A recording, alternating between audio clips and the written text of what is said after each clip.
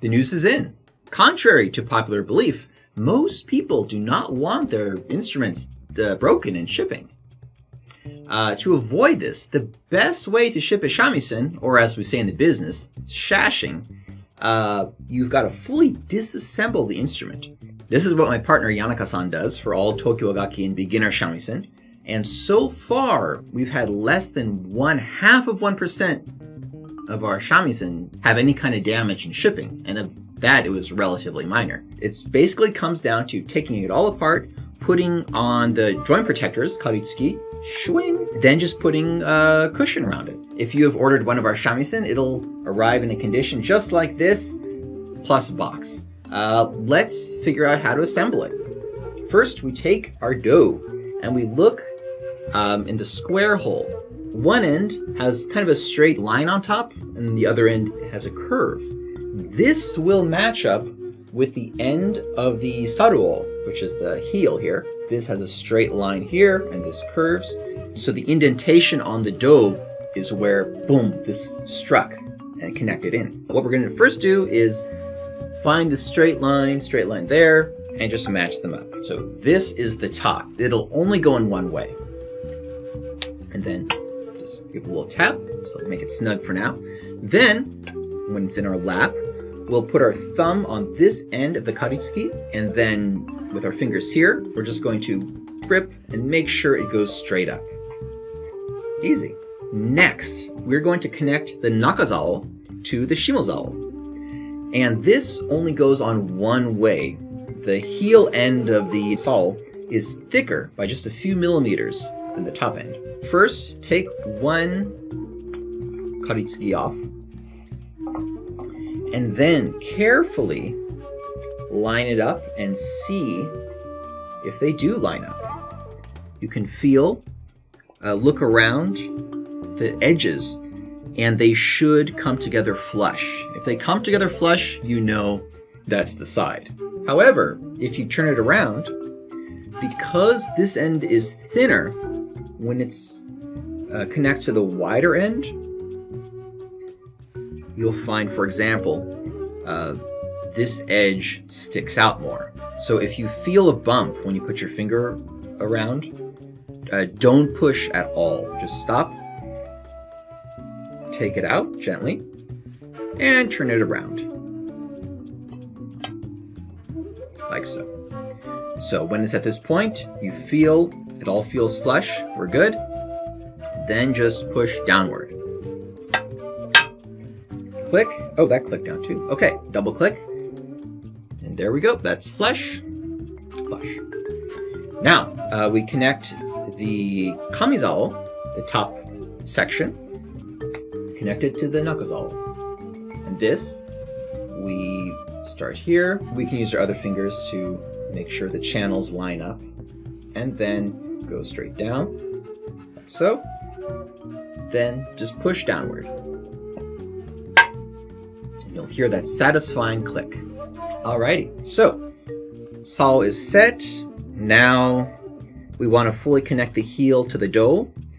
The best way to do this, the standard way, is to kind of use momentum and such to just uh, pop it in, as the kids say. And be sure, use downward pressure. Don't you know, twist or go to the side with the sao.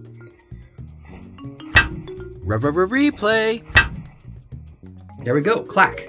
When you hear a clack, you know it's all the way in. Uh, and if you're having trouble, put a little oil.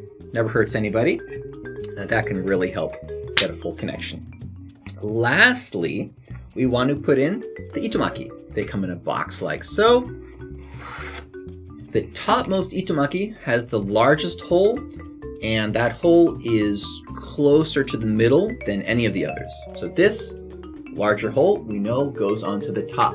The next will have two white dots on the end. That'll show that it's the middle. Slide that in. And the last. Boom. Okay. And there we go. Shamisen is fully assembled. Uh, now I do intend to make a video on this later, but repetition can't hurt, um, usually. The itomaki are only held in with friction, so after you string and as you're tuning up, the itomaki are going to just gradually slip out of the holes. So to ensure that it's tight, use your thumb on the inside of the itogura, the peg box, and just kind of push it inward while you twist. Note, you have to twist while pushing inward to make it lock. Pushing without twisting doesn't work. Uh, and so do that, and once it feels tight, you can take your thumb out and then you just twist normally and should be fine. Once it starts to turn a little too easily, put your thumb back in and lock it again. Otherwise, it'll just spin out. And there we go. We have our fully assembled uh, shamisen, in this case, the Rose. Um, yeah, we learned stuff. Now, how about disassembling while we're here? Sounds good. So, Itomaki, just give a little twist and an outward pull. And it pops up. Same. So. Okay, so the first section we'll take off is the kamizao. First thing we do is put it on our lap with the shamisen facing away from you. Then look for the joint line and put your hand just below the joint. And then put your thumb on the joint that's part of the kamizao. And we're going to use this to push upwards. While we do, make sure that your fingers are below the joint line. And then with this hand, we're going to whack it off. Uh, make sure that you don't go above the line because we don't want to be putting stress on this joint. The strike is going to make vibration to coax the kamizao out. So make sure make sure you're striking on the nakazao. Starting to have a crack. And out it goes.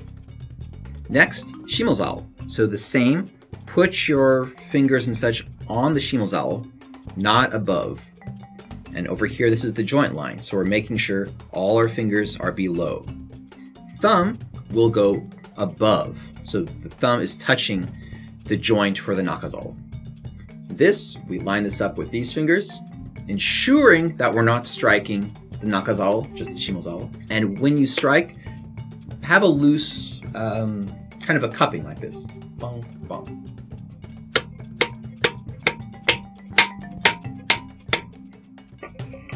Out it goes. Lastly, for the shimozao, the pro way to take it off is just striking it against the floor because it's just held in with friction. And out it pops. Next, we match the karitsuki up with the joint. Note, only one matches up with each individual joint. They're not interchangeable. So to make it helpful, you can draw lines uh, on the inside.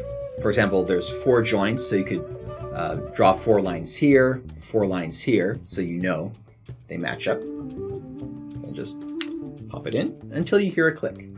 Anything involving connecting joints together, be very gentle and just give it a light, uh, a light push to see if it fits. Like this case, it doesn't. So then we just gently try the other end. Um, and there.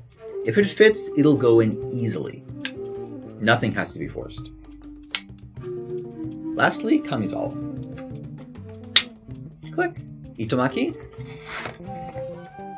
And. Shamisen disassembled, you are ready to ship this to yourself, because why would you ever want to get rid of it? Kyle Abbott. Bachi on.